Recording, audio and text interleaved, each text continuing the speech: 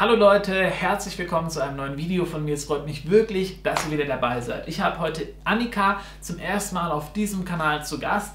In meinem anderen Kanal habe ich ja bereits schon ein paar Videos mit ihr gemacht und ihr kennt sie sicher vielleicht auch von meinem Instagram. Instagram ist ja hier auf diesem Kanal auch verlinkt in der Infobox und auch im Kanal, ja, auf dem Kanal, auf der Kanalhauptseite und auf Instagram ist Annika auch öfter mal zu Gast.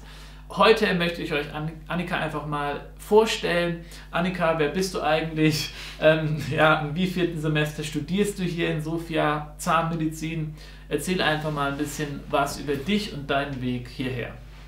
Genau, hallo, ich bin 21 Jahre alt, werde bei 22, bin jetzt ins vierte Semester gekommen, also ich bin gerade in der ersten Woche vom vierten Semester, ähm, studiere hier in Bulgarien und komme in Deutschland aus der Nähe von Gießen. Okay, cool. Und ähm, ja, wie bist du auf das Studium in Bulgarien aufmerksam geworden? Ähm, warum studierst du letzten Endes hier und nicht in Deutschland oder an einer anderen Universität, beispielsweise in Ungarn oder in mhm. Österreich? Also warum Bulgarien?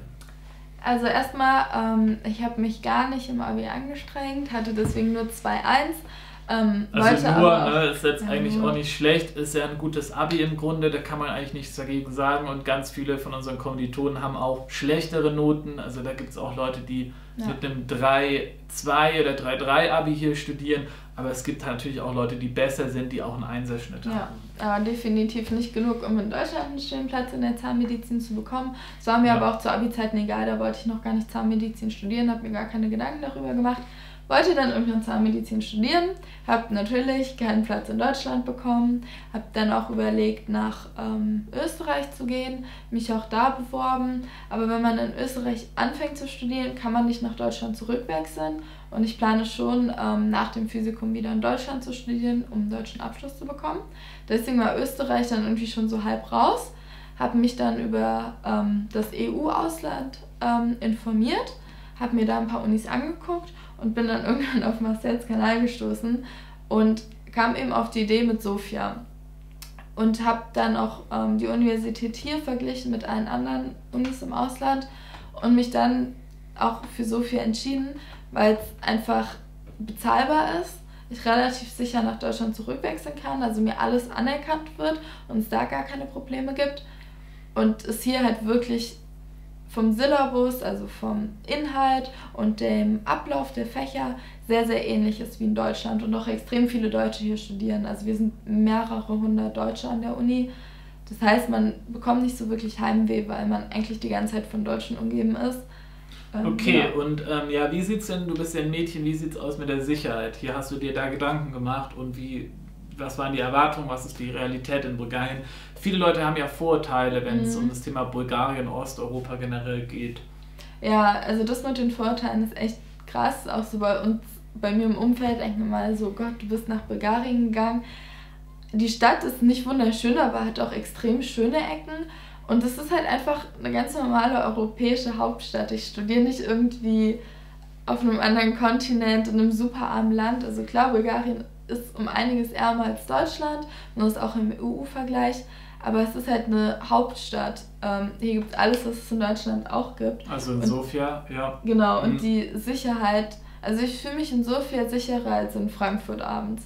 Und ich laufe hier auch ganz normal abends im Dunkeln alleine rum, ohne mir Sorgen zu machen. Genau, also gerade im Zentrum gibt es über mhm. 4000 Kameras. Hier hat ja auch das Europäische Parlament den Hauptsitz gehabt eine Zeit lang. Äh, die, waren ja Gastgeber. Da war, also seitdem hat sich auch nochmal sehr viel getan und die Stadt ist extrem sicher, auch im internationalen Vergleich. Mhm.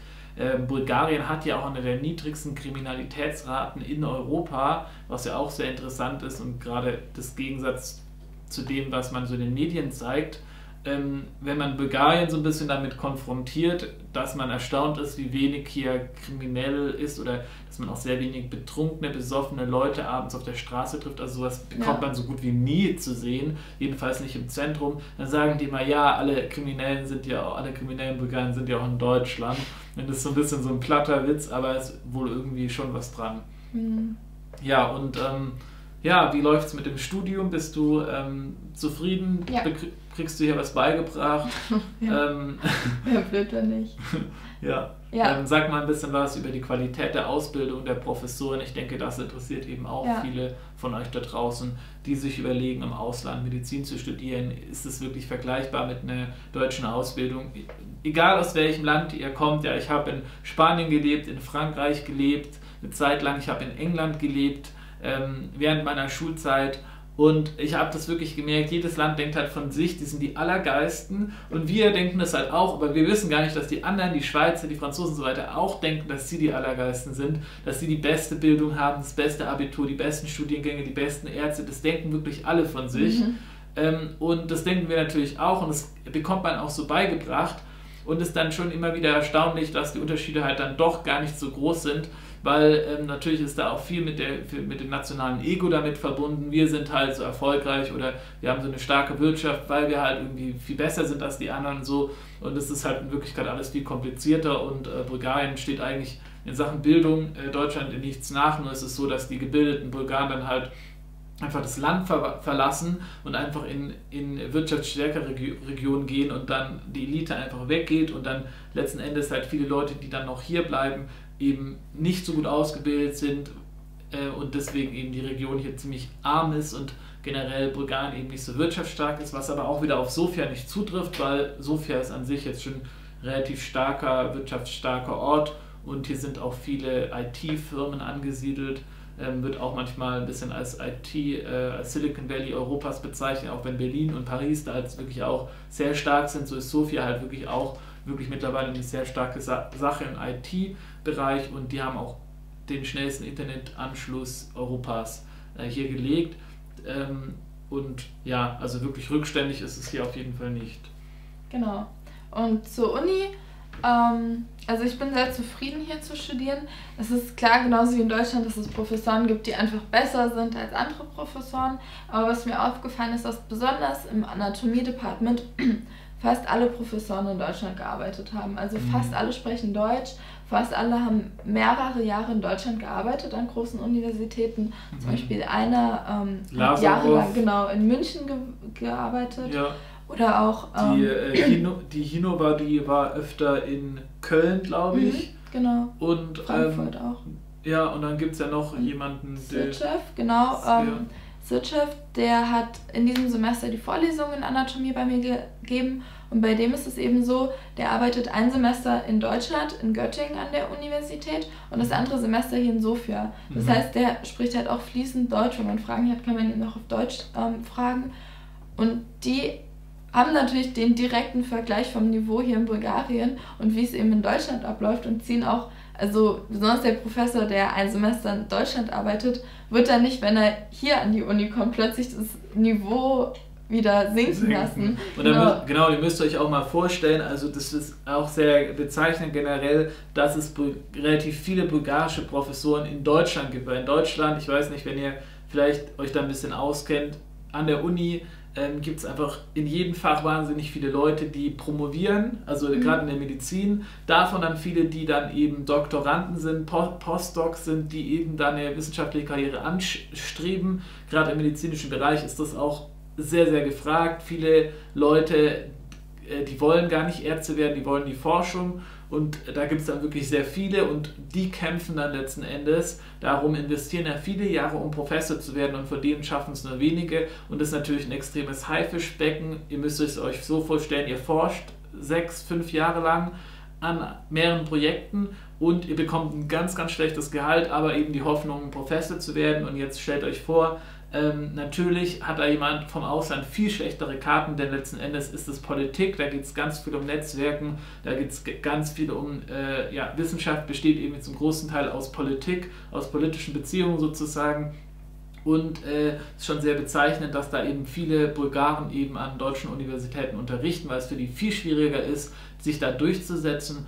Und das zeigt halt auch wieder, wie gut die Profs sind und ja, dass die dann halt auch in unserer Universität studieren also ich würde mal sagen, wenn man in, als Ausländer in Deutschland eine Professur bekommt, dann sollte man schon entweder aus China sein, die sind ja in der Musik äh, sehr stark, oder äh, man sollte halt äh, aus, aus, aus einem mächtigen Land kommen oder man muss halt übelst gut sein, weil Bulgarien ist jetzt ja auch kein besonders politisch einflussreiches Land. Also das ist wirklich sehr bezeichnend, finde ich. Mhm, genau. genau. Also es ist so, man kann definitiv auf dem gleichen Niveau wie in Deutschland studieren.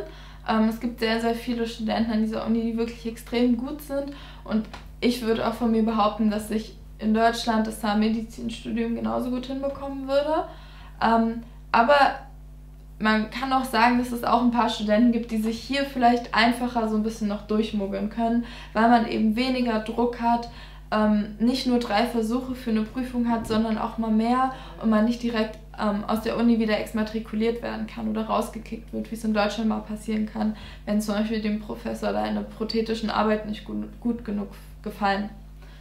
Ja. Genau, also ich denke das auch, es ist ja ein bisschen sanfter. Äh, natürlich ist es so, du bist jetzt im vierten Semester, es wird dann schon nochmal so ein bisschen geguckt äh, bis zum, es ist halt so ein bisschen kulant, bis dann im dritten Jahr halt schon sehr, sehr streng ist und die Leute dann wirklich viel Druck auf einen machen, wirklich alles zu lernen.